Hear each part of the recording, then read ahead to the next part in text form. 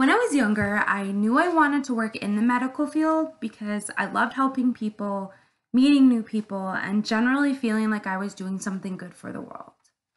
In any given career, uh, having interpersonal skills and being able to socialize with any group of people is necessary for success. My name is Alyssa Howard, and as I continue on with my studies here at Bryant & Stratton College, I want to take a moment and reflect on these major skills that I have worked on this semester that I feel are important for any given person in any given career. So, to begin, generally, body language is the number one thing.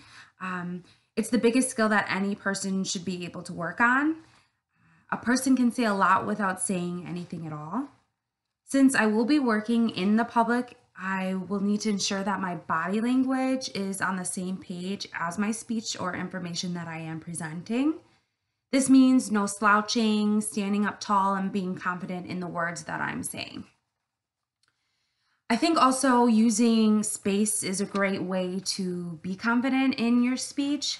Uh, you can scan the floor, scan your audience, move from left to right, just so you're not, you know, standing in one spot being awkward.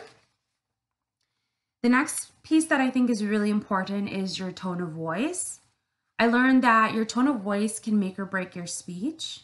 Do you sound comfortable and relaxed or nervous and rehearsed? I cannot present information to the public sounding scared or nervous, so having that confidence will take me a long way in the future with my future career. Uh, also, confidence just generally ultimately is the number one thing that you can have your audience doesn't know specifically what information that you are going to be presenting. So even if you do mess up, you can make lemonade out of lemons and continue on and just move forward.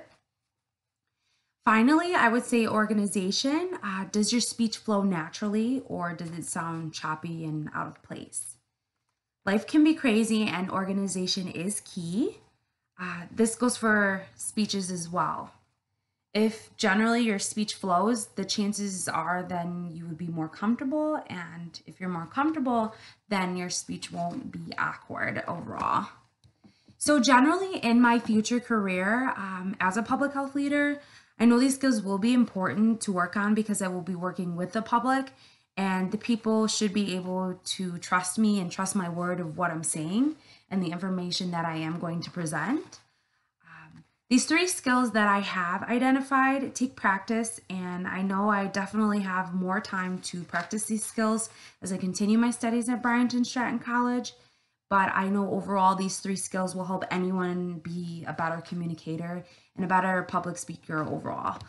Um, I will take these skills with me throughout my studies and I will continue to work out with them and see where it takes me. Thank you.